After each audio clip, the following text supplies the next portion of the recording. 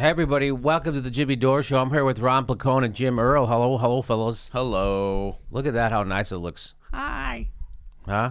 Things look nice. So you know, we talked about this a lot on the show about uh, my theory about why the uh, neoliberals are pushing this Russia thing, uh, because they don't want to talk about what's really wrong with the Democratic Party and how they can't help but turn their back on their base and they're in bed with corporations and they don't want anybody to notice or talk about it. They want to pretend they're still the party, an opposition party, which they're not. So, like for instance, uh, here's a uh, Christopher Hayes. We talked about this on yesterday's show. He he tweets out, by the way, this probably is a minority view, but if Flynn had a phone call with Russian ambassador urging him not to overreact to sanctions, I don't think that's the worst thing in the world. But why all the subterfuge and dissembling? Why'd everybody act like there's something to cover up?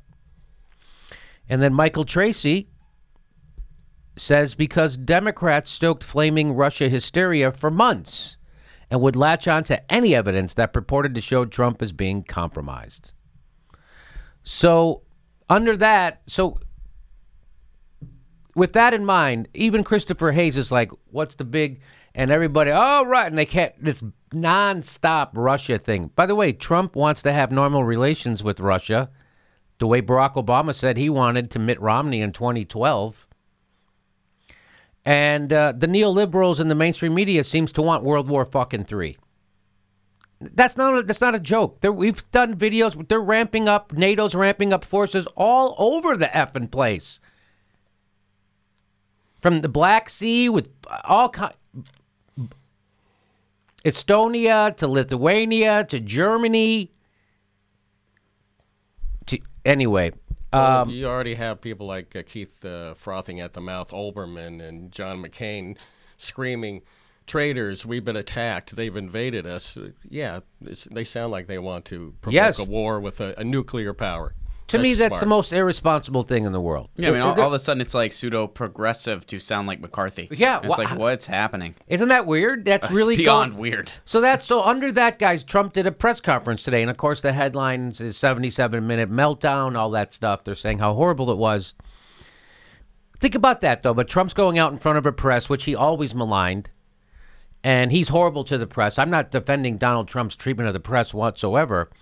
But think about that. He's going out now to give a press conference and talk about this stuff, and the press has been ramping up this Russia BS. Here, here's so here's his. Let's listen. Here's his. Here, here's a little clip that they were running on the Huffington Post today. Presentation directly to the American people. He's going to make his presentation directly to the American people, right? He's going around the media. That's what that sounds like to me with the media present, which is an honor to have you. This morning, because many of our nation's reporters and folks will not tell you the truth and will not treat the wonderful people of our country with the respect that they deserve. And I hope going forward we can be a little bit, uh, a little bit different, and maybe get along a little bit better if that's possible. Maybe it's not, and that's okay too. Unfortunately, much. First of all, I think that's ballsy. I don't know why. I, I, that appeals to me that he said uh, I'd like to get along better with the press, but if not, that's okay too. Like wouldn't that that's to me that's a little bit that's that that catnip to the right, like Bernie gave to the left in that debate in New York when he said Lloyd Blankfein had said I'm a dangerous person, and he's right. I am dangerous. Oh, we went crazy. Yes, give it to him. That's kind of to me. I don't. That's how I took that. Like when he said, you know, I'd like to get along better with the press. If not, that's okay too. I got, I'm doing my fucking, you know, I'm doing what I want to do. I'm the president.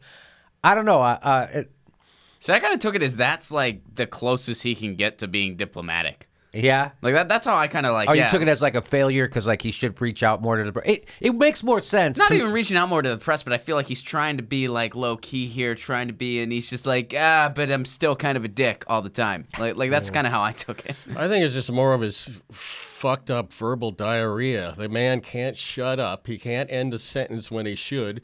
Well, you know, I have tremendous respect for the the press. But then again, I don't. Well, I'm going to react to the Russians and the spy ship. But then again, I might not. But you're not going to hear about it. But, you know, I'll do it alone. You don't have to know about it. All this kind of Tourette syndrome. I think shit. there's a lot to what you're saying. Maybe that's maybe he just didn't know what to sh- when to end that sentence. Word salad.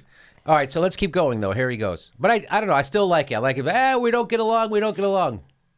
The media in Washington, D.C., along with New York, Los Angeles in particular, speaks not for the people, but for the special interests and for those profiting off a very, very obviously broken system.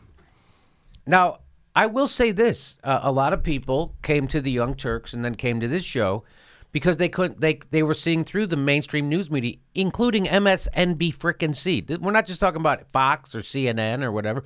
MS people got sick. They were like, "Oh, you're right. They're not speaking for the people. They're carrying a corporate message, a neoliberal corporatist message, and they're smearing the real deal guy in favor of propping up a corporatist warmonger who we can't stand."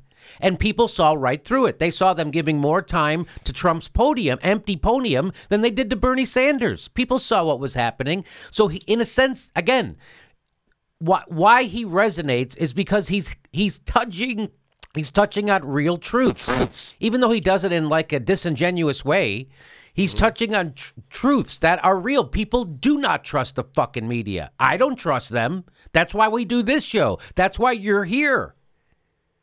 I mean, it is hard to imagine that a media outlet owned by Comcast wouldn't necessarily be for the people, but but here we are nonetheless.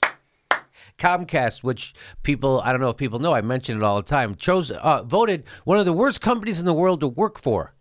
Always been voted that, and uh, yeah, I wonder why they're carrying the corp. Anyway, so there's more to this.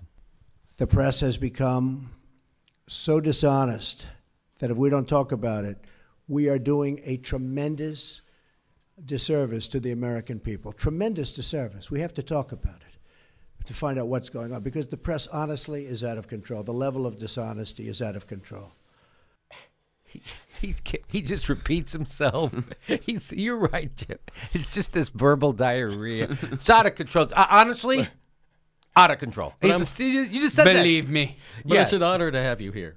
But you're out of control. It- you're lying. But it's an honor to have you here. It's an, it's an honor to have you here. If he rolled back media deregulation, uh, we might be okay in the long run. Like if that was like the one progressive thing that happened. Yeah. I mean, he's not going to, but you know, If he if he rolled back, yeah, like like if he rolled back like the Telecom Act of 1996, Oh, no, he- like stuff like it's not gonna happen. I'm just saying, like like what if like someone like stuck that idea in his head? yeah, I, I had that dream too. they That like he, had regulations. I had a dream like that too. That he that he would enact uh, uh, the public option. Like, I, we're going to repeal Obamacare, but we'll give you the public option. Like, I, I th- it, they're not going to do that. But I, I had that po- pipe dream also. Yeah, like, like what if he where, like, accidentally screws? something like he accidentally does something amazing? What if he accidentally does something great? Somebody puts it in his ear. Well, that's what I thought of. Somebody put in his ear. If you do single payer health care, they'll put you on Mount Rushmore. yeah, and then compliment him after. It, you'll have you you will be president forever. They'll repeal the term limits. You'll be president. He, and I'm sure he was like, "Well, that sucks. I don't want to be president too much longer."